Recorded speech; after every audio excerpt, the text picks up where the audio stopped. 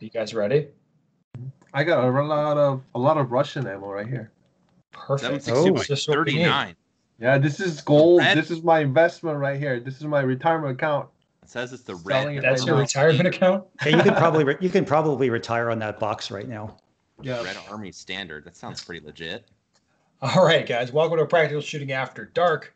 Um, we're here to talk about shooting. You guys know the deal. Everybody comes here with a topic, something fun to talk about. Um, on deck today, Mr. Joel Park, Hello. Mr. Kim, Hello. Mr. Andreas. Hello. Oh, man, Andreas's audio is so nice, so clean. It's excellent. Well, like I said, you guys know the deal. Who wants to go first with their topic? Or do you guys want to go with the one I just sent you now that it's fresh in your minds? Ben, I think you have a good one to uh It's a good one to start on. It is a good one to start on. All right, so I got an email from a, a, listener, a guy that I know a little bit. He's sent me some pretty reliable stuff in the past, and I'm gonna t- I'm gonna tell a story without telling the story right now in order to not dox anyone involved. Um, but uh, anyway, he sent me an email after I'm not going to name the match, and now this has been we've we've been some time from this match, so I don't think uh, if you don't know, you're not going to be able to figure out figure it out from anything we're saying, and that's that's a good thing. But after um, whatever match last week, I noticed a significant scoring issue while reviewing some footage, significant enough to apply, affect first and second place in this division. He brought the attention of the MD and the shooters involved. As expected, there's nothing they can do about it. This is a week after the fact. I think this was an honest mistake. I believe the RO read the timer off incorrectly.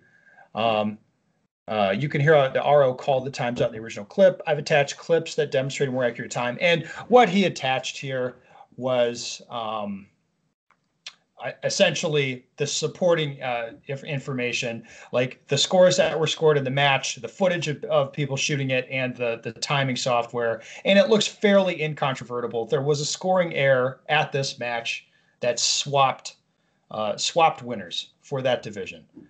Uh, okay, based on these clips, it's clear and easy call to make. This is his email now.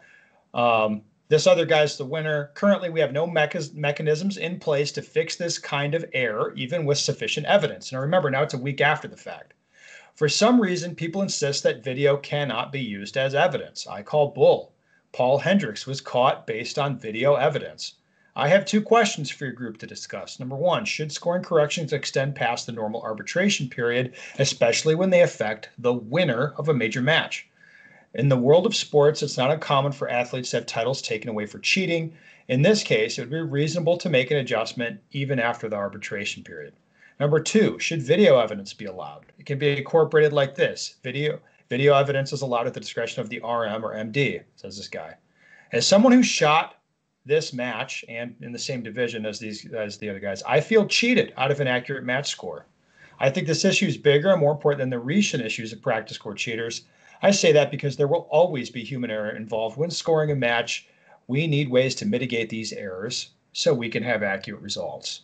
All right, so that's that's the email on it. Uh, why don't we go around and get a hot take from everybody? If you have a hot take on this, uh, Andreas, you wanted to say something before we before we key key it up. I don't know what you're going to say. I'm curious though. I've seen like with uh, like after the fact, we've had people who have uh, like technologies come along with blood tests, blood tests, and people have had titles stripped or wins removed. But I've never seen, or I don't recall scoring mistakes ever going back and changing the results of a sporting event. It's kind of like once it's in the books, it's in the books, unless there's something extremely drastic, like somebody was doping or whatnot. But I think the the person writing in has a good point that the, this should be written down. Like that could be a reasonable addition to the rule book on like once the score is closed, once the trophies are handed out, what's still on the table. Because you Yeah. can't have people coming out of the woodwork a week later or six weeks later or a year later and they have video evidence that that changes the results. I mean, you can't have eh, basically every match result being tentative because Yeah, something may they're- come out. There has to be an end to it at some point. right? Yeah. So I would say short of something drastic like the person didn't really shoot the match, or somebody ad- admits that they were paid to change the scores, maybe something really drastic. Like I think you got to just let it ride, and it kind of sucks, but that's That's the way it is. that, that's in the interest of the sport and just having a you've declared the winner and then you move on. yeah. Mr. Kim, you got a hot take on this? Yes. Uh, before we I uh, before I talk about my opinion, the first thing that really shocked me when I started the sport, I mean, sometimes uh, still things a lot of things shocked me still, but the first thing ever shocked me was the first nationals I went to. Uh, there was an incident where an RO was too far away from the shooter and the last shot didn't pick up on multiple people. And people immediately noticed the score was wrong. Multiple people were having unreasonable time. So all of them were offered to reshoot, but not all of them accepted that offer. That shouldn't be an offer. It should be mandatory to mandatory reshoot. That's kind of like a, I guess, range equipment failure, so to say Yeah. like the timer failure should be part of something like that. So that was the first thing shocked, and that That's not even in the rule book, if I remember. Like it's like a, a reshoot's mandatory. it should be. But at Yeah. nationals, Yeah, they don't always follow the rule book at nationals, Mr. Andreas. I learned this too my very first nationals as well, same as Mr. Kim. Well, it's the USPSA guidelines. yeah, the attitudes have changed a lot since I started. Like they made an attempt to follow the rule book back, back like now I don't I don't think they really give a shit anymore. Which is and just a change in attitude. uh, as far as I know, at nationals, there's like a, a staff that cares about the scorings and stuff, and I think um, some staffs should pay more attention, or maybe designated staff to do like scoring, checking stuff like that. I think it has to be there. And about the real question number one about a week uh, arbitrarity, I am on the same page with Andreas. Yeah. But I just think there's got to be more worked too within that short arbitration phase. What is it, four hours, something like that? And actually to filter those. Yeah. And Mr. Joel, what's your hot take on this? Um, I agree a lot with what Andreas said. It's not like, hey Ben, you want you know that national title you won in 2015? Well, some new some new information's came to light. You know what I mean? Like you couldn't, you can't do New that. shit has come to light, Obvious- man. You- well, that's like your opinion, man. Uh, unchecked aggression. Uh, but I remember I don't like dropping names, but the Paul Hendrick situation for a while, and I don't know if it's like for part of the country or whatever, but around me for a while, there was like a habit where the RO would always like show you the timer after your last shot. Like you looked at the physical timer, and then they entered the like as they repeated to the scorekeeper. And I don't know if that was maybe just around my area or not, but that was for a while like a big thing. And then I, I kind of think like, well, it is partially you it's partially on the range officials because obviously they need to be recording things accurately, but it's also partially the competitor's responsibility. Because if I'm walking through and I, you know, like before I hit OK on the tablet, I'm like, what? It says I have I didn't have any deltas. Like, oh no, no, that, that was that was supposed to be a Charlie. And there was like there could have been some honest little mistake. So I do think part of it is the competitor is required to verify their score before they accept it in the tablet. So I kind of see both sides of the argument. Well, I uh, don't place a lot of uh, responsibility on the competitors, quite honestly, but that's just me. I think that's what range. I think that's what the match staff says when they fuck something up. I understand. That's that's typically how I see that line used. Is like the match staff fucked up. Oh well, you're supposed to verify your score. Like I've been the guy refusing to hit verify on the tablet because my score was fucked up, and the range like and have the range master come over and like and, and like he tells me I have to arbitrate, and I'm like, what? That didn't even make sense. That was actually a pretty funny situation, but not directly related to this. Uh, Okay, so looking at this, obviously we all agree this is a heartbreaking situation. This is bullshit. This should not happen. It's inevitable that it will happen occasionally, I think, but it should not happen and we should hate this, right? Yes. Especially, uh, it's okay to say it's an area match, so it's a it's a really big Yeah, deal. it's a Winning- big It's a deal. big deal, It's a yeah. big fucking deal. It's not just a club. I mean, it, it wouldn't be. I don't a care club if it's a match, club. This is a A- big anger deal. is anger is justified. Anger you and should butthurt be are mad justified about here. this. This Yes. should make people angry. This would make me angry to be on either side of this. yes, Like, um, I'm not surprised that this happened. I would predict we're going to see more of this stuff in coming years and not less. I would say uh, officiating has loosened up a lot in the last few years, and I expect that trend to uh, likely continue. And that would uh, that that would be what if I have to lay this at at like point to the problem and like lay this at someone's feet, I'd say that's the problem. Officiating has loosened up quite a bit. Um, yes. All right, but that's just that's just my read on it. So let's let's get to the specific questions. Should scoring corrections extend past the normal arbitration period, especially when they affect the winner of a major match? In the world of sports, it's not uncommon for athletes to have titles taken away for cheating. Okay, so we have a one-hour arbitration period, which I, I should also say at most major matches Gets typically waived. is not observed. They're like, Correct. we're waiving arbitration. I'm like, I don't know how that works, but all right, we're waiving it. So typically that's that's not even a thing. It's waived. Um, should it should it be longer? Should it be shorter? Should it be if if there's a a piece of information that affects the winner of the match? Should the should the period of time be longer? What do you think, guys? Like being serious, like we have we we all agree you got to cut it off somewhere and be like, yeah, we're done with this. This match is done. But when should that be? I mean that when the when the scores are, or when the awards are handed out. Okay, but we could make that a- like uh, like we're just speaking the realm of theory, right? Yeah. So we could say, okay, it'll be like we're gonna hand out. The, well, we'll mail out the awards a week after the match, which I'm not sure I like this idea, but let's just let's go with it. What do you? you Joel's shaking his head. I wouldn't want to go home not knowing if I've actually Yeah. won something or not. That would be I- frust- I totally agree. I But wouldn't if- like that.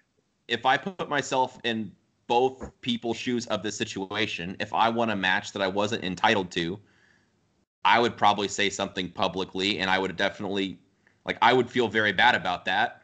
Oh, you're uh, like you're in a bad spot in either one of these. The guy who the guy with a title he d- doesn't feel he deserved is like it's kind of like this is your moment to come out and say something in I feel- public, and and the other guy has to keep his fucking mouth shut, or Yeah. he's gonna look like a bitch. And yes, if I was a second place guy, internally, I would probably be some form of irate, but absolutely would not say anything publicly because it's a terrible look. So Yeah, both both can do. shoes are terrible spots to be in.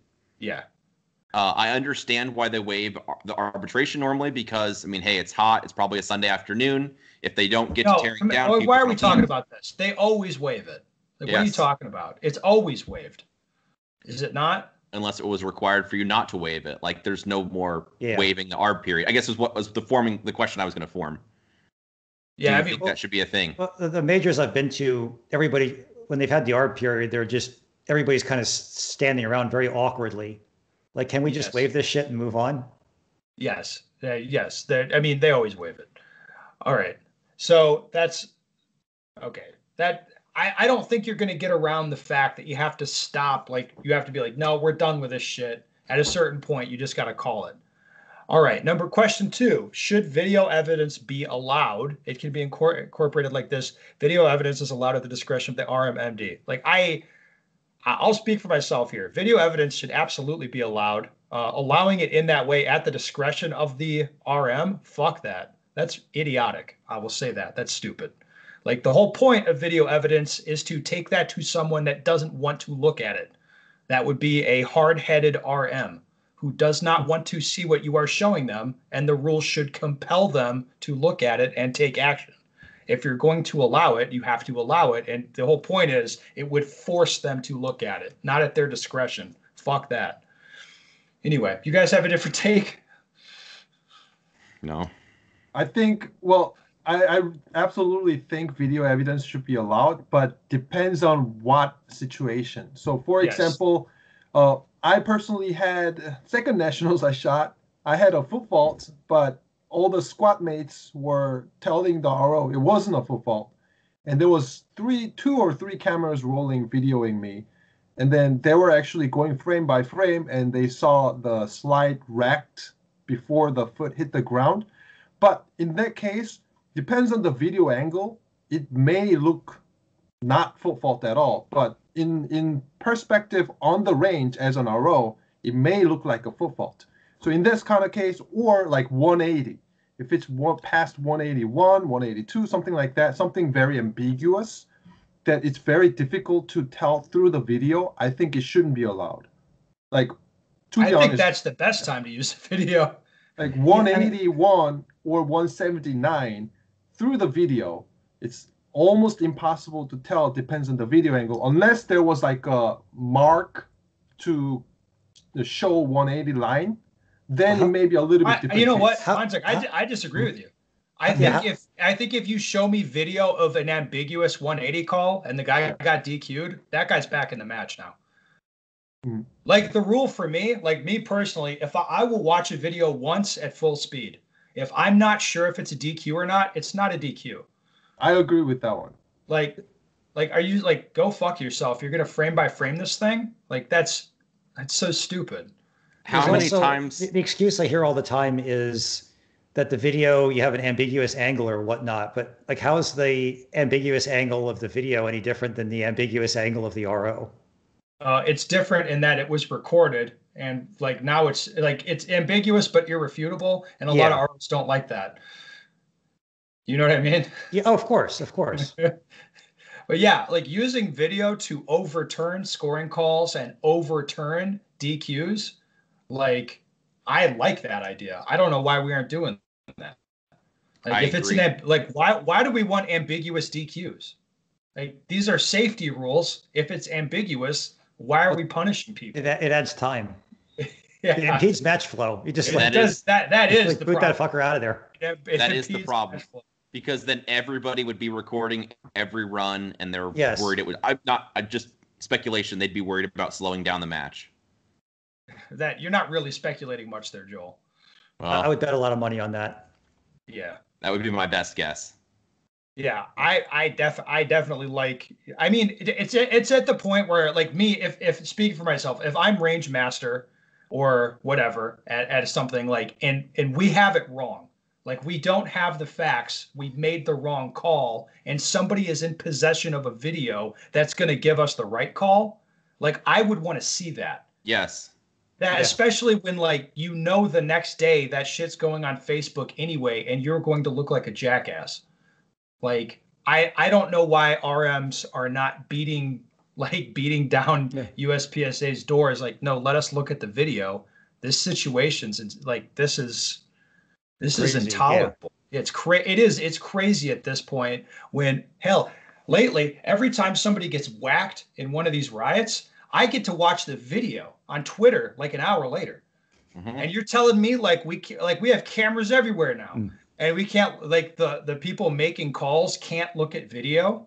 It's uh, are are you kidding me? Well, like I'm not a big football fan, uh, but even if you like watch sports, whatever, where they like stop the game where they can do video review, like other sports do that also because they want to make sure they get an accurate call that is correct.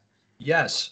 so if they're like correctly. if it's a football game, like it happened so fast, like I don't really know what I just saw. I need hold on, I need to check the video yeah, because yeah. I I don't want to tell you the wrong thing or make an indirect or a wrong call that may sway the game one way or the other. I would yeah. I would actually love to see a rule change. Look, you know how fixed time five seconds, five point three seconds is still a shot, no penalty, right? So for 180, we set the 180 rule, but for a DQ I think, yeah, like 185 degree or something like that, then using the video can definitely help them to uh, avoid the argument with the RO and the shooter. If the rule allows 180, but DQ is actually like what 185, something like that. yeah. Yeah. Just yeah, just like the five second fix time rule.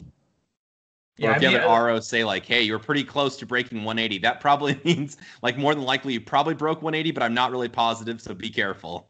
Yes. Yeah, that's that's about right. All right, let's uh let's move on. Uh, Joel, what do you have for us tonight? Let's talk about uh, some fun, spicy stuff. Nothing fun and spicy. Mine's a show and nope. tell, I suppose, uh, but I'm too lazy to go get it, so it's out in the garage. Um, I used to look at people pulling their little range carts and thought like, man, those guys are gonna wear themselves out by pulling that cart everywhere and look at all that crap they bring with them and stuff. And now at my old age, I've decided it's probably not such a bad idea. um, you know, like thanks to Hopkins and you know other people, like I bring a fan now and you know, I've got a cooler because you need to have drinks and you know if you have a folding chair, snacks, your range bag, ammo, all that crap. So um, I actually like the idea of having one of the little range wagons or carts. Um, and I think it's smart to use it, but only in specific occasions. So, for instance, if you're at a match where it's super hilly and you're going to be going like up and down hills, and it just like you're not going to be passing by your car, well, or you're going to be in like close range to your car, there's probably no reason to be having it. If you're going up and down a lot of hills or like somewhere that you don't even want to walk, dragging this wagon is going to be a dumb idea. But if you have a fairly flat range, you're going to be out there in the sun, you're away from your car, having a wagon loaded up with like all the stuff that you might possibly need. I don't think it's such a bad idea. Can I, can I present an alternate approach? Yes. so I, I, I stole this from uh, Sal Luna. Yeah. That I used to carry a lot of stuff at matches, and then mm-hmm. shooting with Sal, he had a box with some ammo in it and his lunch, and then he had a jug of water. And I just kind of looked at what I had. I'm like, I am bringing way too much shit to this bay that I don't need. So I just left it all in the car. Oh no, you should just look at it and be like, oh, he's a minimalist. I was more like looking at him like this man is brilliant, and I need to just not carry as much stuff. So I'll suggest that as an alternate. It's like kind of look at what you're carrying around the match, and like maybe three quarters of it you don't actually need. I would agree with that. Even like a backup gun. Like if I need to switch guns, I can go to my car to get. That. Yeah, that. that's that's a rare enough thing that I go to the car. I agree with you. Uh, but no, there's some occasions where I actually really like it. Or uh, I shoot some two gun matches locally, and by the time yeah, I'm carrying then you a start car, needing that. Yeah. yeah, a carbine also, and a set of mags for that, and two types of ammo and stuff. Yeah. So anyway, on some occasions, I like it a lot, and I'm quite glad I have it. I wouldn't use it all the time, but I've kind of changed my mind from thinking that's so dumb. Why would you have so much garbage to like, oh, sometimes it's kind of handy. And uh, otherwise, some of my uh, I think my, you've just gotten old. That's probably true. Also, uh, I was spoiled. I'd have some of my friends locally would just let me put my stuff in their carts and they would pull it for me. That is best case, but well, that that happens when you hit GM. they did that to make a show, actually. Yes. like, oh no, here, sir. Let me carry a range bag for you. Yes, like, yes. I hate you so much right now. Yeah, but anyway, having one at times is kind of handy. So it's just another thing I throw in my car. When I get to the match, if I want it, I'll use it, and if not, it might stay in my trunk. Yeah. What do you got, Kim? My turn. Yes. So uh, I, I just want to share some stuff I've been working on. Uh, the ammo shortage, uh, primer shortage is real. So a lot of people having. Do you actually yes. need? Do you truly need primers? So I have do you seven personally primers. need them? I have seven thousand primers, and I'm right. shooting less amount. So, but Bro, my I, I, can get you primers. Yeah, we're gonna we're gonna sort you out. I'm sure. Yeah, yeah. We'll like, have a conversation before the end of this. the night. We'll talk later. Yes. So, the big problem is I have a ammo sponsor, but there the shipment issue due to COVID is delaying everything. So for me, I've been spending way less month uh, ammo. I used to shoot 700, like at least 700 rounds per session, but now I'm going more towards two to 300 rounds per session. So my the drill setup, everything drastically changed due to shortage. So I, what I've been focusing is the reaction time so in that case, I'm shooting a lot of one-shot drills. So when I say reaction time, there's a couple reactions. So auditory reaction, which is like a buzzer drill. You hear the buzzer and you tap it as fast as possible. I used to shoot first shot uh, for the buzzer. So you can actually shoot as soon as you hear the buzzer, but it requires ammo. So I started tapping the buzzer to conserve ammo. So I, I do that and I try to keep that reaction time 15th of a second to 20, somewhere in the that window. And another one is visual reaction. So for that, what I'm doing is I, am shooting tough enough shot that I need to make sure the recoil goes straight up and keep the gun steady. I'm not trying to transition off early or something like that. So as soon as I see that lift lifting off of the red dot, I initiate the movement. It could be a visual movement after the response. So what I mean by that is, as soon as I see the uh, dot lifting up, my vision goes to the next target as soon as possible. And if it's a physical reaction, then I would move to another position, uh, initiating my movement as soon as I see the jump of the dot. So when I first started visual reaction stuff, so I would typically do 20 yard mini popper or 15 yard headshot, something like that. Uh, visually, before what I saw is I would see the whole arc of recoil going all the way up and then moving out. And then after trying to really respond visually fast and fast, now I'm seeing is like a half of the recoil and already my vision's off the target. So that's something I do. And physical response is basically on a hoser target. I am forcing myself to exit the target visually or moving out of the position as soon as I feel the trigger pull all the way. So in that case, I am actually doing walkthrough. Uh, I have my arms up on the target, actually pull my finger, even without a gun. I will pull my finger. On the second pull, I initiate the movement rather than trying to see then response. In that case, I am definitely not responding to what I see, which takes more time, usually yeah. 15th of a second. But if I am actually exiting at the same time as the finger curls all the way, I'm not necessarily responding to feel or responding to vision. It's almost programmed to do certain thing at, at a certain physical uh, positioning, basically. So I did a lot of one shots on each target. So like I said, a tougher shot on the 20 yard, or close shot, finger all the way, one shot, and then do immediately, and then enter next position, and then shoot one shot. So a lot of the runs require two shot per run. So actually, I, I had a lot of fun actually doing that. The focus is a little bit different than shooting a multiple skill testing courses. Like it could be a goal stop or designated target where you're doing multiple things a lot at the same time. But I'm just trying to separate only the reaction time each time, just one shot each time, and I'm trying to respond as fast as possible. What that developed for me was uh, the mindset is a little bit different. When I try to respond super fast, it's almost like I'm having a tingle on my sensation.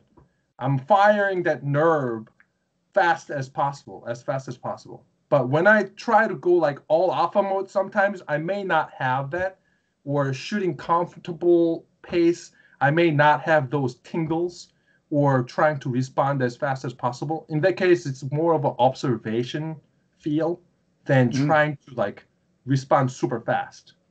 So that that's been pretty interesting.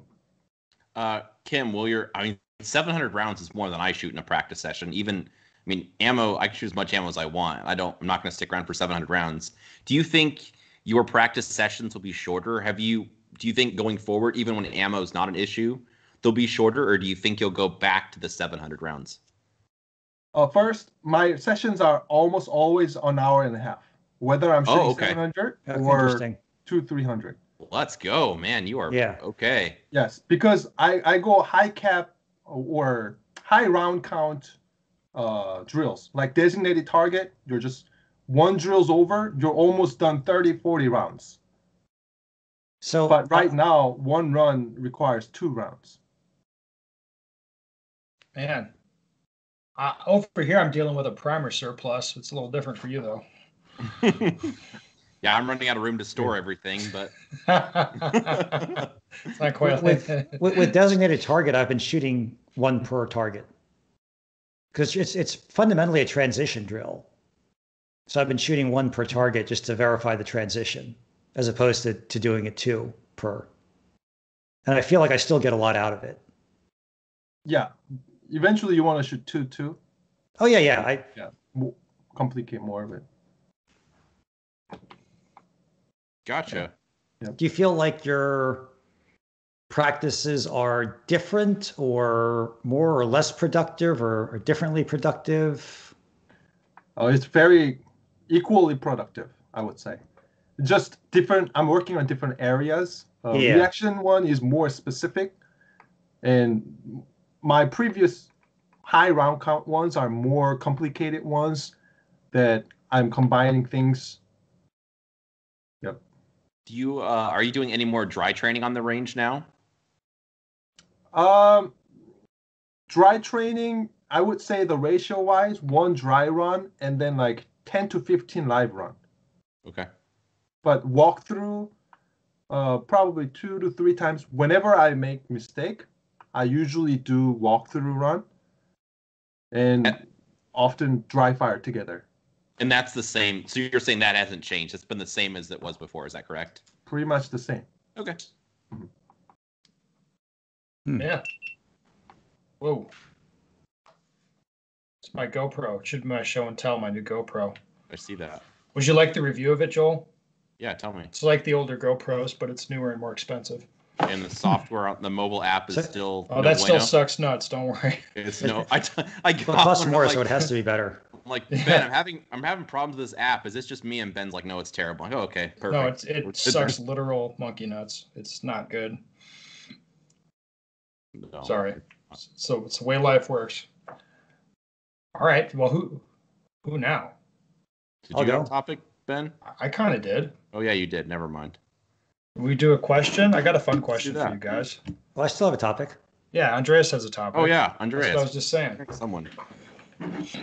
So was out practicing with one of my buddies this weekend and I think if you're not happy with how fast you're shooting that the answer is usually to try shooting a cadence and just see what happens. That we in particular we were shooting MXAD and we were going from the close target to the far target.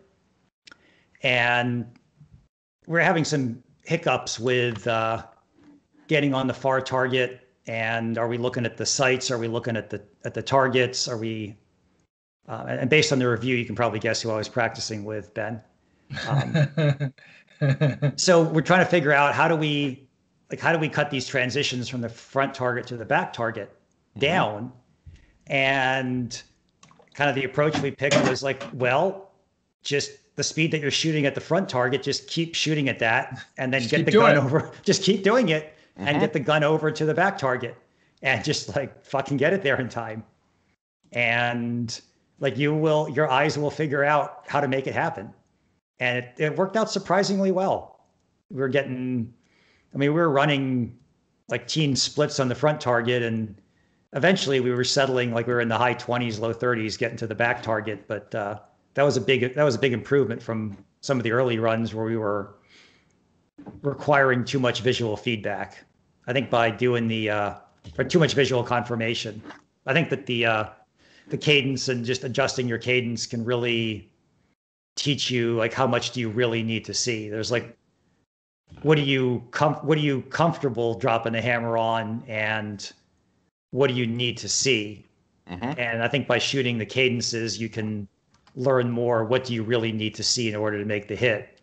And that that's what you need to become comfortable dropping the hammer on.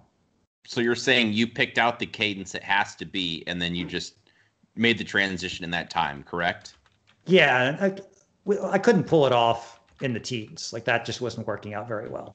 Like i was dragging shots on the side and and on the targets and whatnot but when i still shot at a cadence that was faster than i was comfortable with i started punching two alpha or alpha charlie in the back target. And it was like okay maybe like i can get away with a lot less than i thought that i needed on that last target so I like it. and that's I've done that like when I've been teaching and like we're doing Blake drills or whatnot, where I just kind of people are taking way too long to drop the hammer on the like they're running f- like 20 splits and 50 transitions. and like, no, no, no, no. You just need to shoot all 20 splits, and you Mhm. just if you shoot it in the dirt, I don't care. Like you just need to do this. All right. So I like the strategy, the the caveat that I give people. So here's the rule for me. Say, we'll give you a cadence. That's a training tool only. Don't do it in a fucking match because Yeah. that's stupid. And then the other thing is your objective when shooting the cadence is not so much to produce the result, but to understand what's happening. You know what I mean? Yeah, like why if you are missing, why are you missing? Yeah. So for ex- in that in the example you're giving, where if you're forcing a guy to attack the back target on MXAD really aggressively, for those who don't know, it's there's two targets. They're they're basically there's basically no s- transitional like space between them. They're just separated in depth. So you got one close one and one one longer one, but there's there's you don't have to swing the gun at all to get from one to the other. You know what I mean? Mhm. It's it's a very it's it's a very short swing. But anyway, uh, if you're going from the close target to the back target and you're forcing a guy to do that more aggressively by using a cadence, uh, he should be able to tell you, like, oh, I, I'm pushing the gun past the target and I'm shooting the rounds past the target, or I'm not getting the gun back there in time. I'm just pulling the trigger and I'm like dragging the hits onto the target or something like that. If they can specifically understand what's actually happening, they're going to learn a lot. Uh, if they if they're just making the time and trying to get the result, they're not going to learn that much. So that'd be the caveat that I put in there. Yeah. I like that a lot. I've actually been doing that with accelerator. Well, Ben came down and trained with me a bit, and Ben hurt my feelings how fast he was shooting accelerator. And uh, I actually made a video for training group, I guess to plug training group, uh, about looking for trends. But while I was doing that, I was basically just shooting accelerator, and all of them, I basically shot the targets all at the same speed, and I just made the transitions in between, and I just really didn't care that the target was at 25 yards. And I actually learned quite a bit doing that, like like what you guys are saying, because it was like, hey, I'm actually hitting the target. Maybe I'm not getting the maybe I'm not getting the exact results I want. Maybe my eyes are getting sucked on the front side on the 15 yard, you know, target, and maybe I need to be, you know, looking with my eyes first or not snapping the gun or whatever. Yeah. But yeah, I, I like that a lot where you just like you force it, you kind of just force the time and then you figure out what's going on. But like what Ben's saying, knowing what's really picking it apart to see what's going on, where the problem lies, what's actually wrong. Uh, I think you learn a lot because I I want to be able to shoot the accelerator where I shoot all the targets like I shoot the seven yard target. That would be boss. So Yeah. Yeah, I watched Uh, the video last night, and then the the one thing impressed me was throughout the drill, basically uh, cadence wise, it, it sounded like very similar from the first run and the last run. But what changed was the process uh, of how you center those groups into the alpha zone. That was, I really enjoyed watching it. Good. awesome. Man, look at you guys all friendly and stuff. well, should we take a question? I think it's a pretty fun one.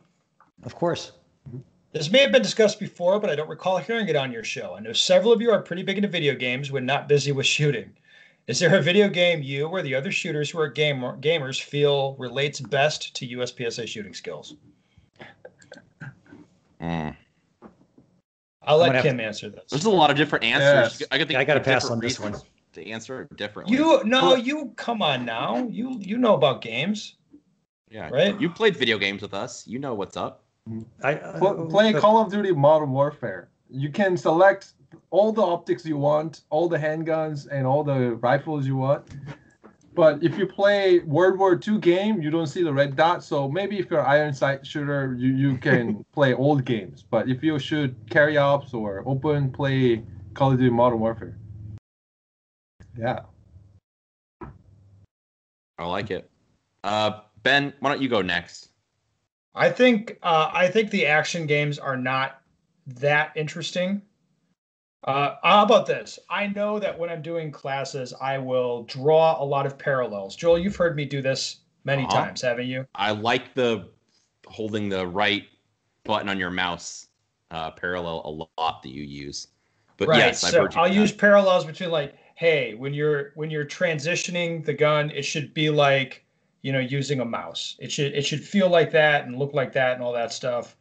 Um, you know, because that's uh, that's like proper technique is not like throwing the mouse around hard. Or I, I'll like use a parallel to Call of Duty. If the guys if, if the guy appears to be of the the right age and demographic that he would benefit from a Call of Duty uh, analog where it's uh, so how about this when you're staring at your sight while you're transitioning that's like holding down the aim bumper the whole time when you're playing call of duty. Is that is that an example that makes sense to you mr kim? Absolutely does. all right. So i i like parallels like that are good but really uh, the games that i think would be good for uspsa it's not so much technical skill but strategy games i think would be good to learn game theory. You know what I mean? To understand scoring and uh, like how to play out the game with a strategy that's going to win you the game in the end. That's an important thing for That's- USPSA. That's what I risk, was gonna say. risk reward. Yes, like I, actually thinking of- understanding that stuff is important. I was thinking about our learning curve with Police Story, Ben. It's actually Yeah. the one I was going to pick. Well, you you're just saying that because you like the game. I do like the game, but I like what the game. It's it's what you're talking about, where we didn't even know how to play the game right at first, and then we we're doing different concepts. It's constant problem solving. It's never the same thing, and you're also, I suppose, hand-eye coordination. You know, looking with your eyes first. I suppose all that stuff. Uh, uh, but yes, it makes you think about it, exercises your brain a bit, and uh, I like that it engages me. It's not mindless, I suppose. That's a fair way of saying it. Yeah, I mean, yeah, I, I suppose so. Yeah, but uh, I, I wouldn't recommend a specific game for USPSA. I think like the VR stuff, or I mean, I've played a USPSA game in VR. Not that helpful for USPSA, quite frankly. It's fun, it's cool, but I mean, no, it is not. It is not directly beneficial. Anybody have anything to add to that one? Oh, the screen shooting. There may be a little bit more beneficial. de- Definitely more beneficial. Oh, light gun games. computer game. Uh, yeah, the the screen projector thing. You actually shoot a pistol that projects laser out of. Yeah, so that's like Yeah. the old school light gun stuff. Mhm. Oh yeah, I mean yeah, that's cool. Hey, oh this reminds me, guys, I've ordered another video game cabinet for my video game room. You told me. I'm excited. I told you I, wanna did play not tell. Mr. Kim, and I did not tell Mr. Andreas. Would you guys like to know what I've ordered for you to play Yes. next time you join me? Uh, I got a four-player NBA Jam cabinet coming. Ooh. That's uh, that's a classic, a I used to classic be- game. Many quarters were consumed on that game, sir. Well, you can play to your heart's content in the very near future, my man. Now you're You know? talking my language. Yeah, yeah. All right, well, Right. listeners, what? Oh, no. All right, listeners, that's all we have for you. Uh, it's the end of the show. If you have any questions or comments, go to benstoeger.com. Send me your questions. We would, well, we'd love to hear them. You know, we, we always enjoy that stuff. How do I how do I kill this fucking? You and that mouse sliding around everywhere. The audio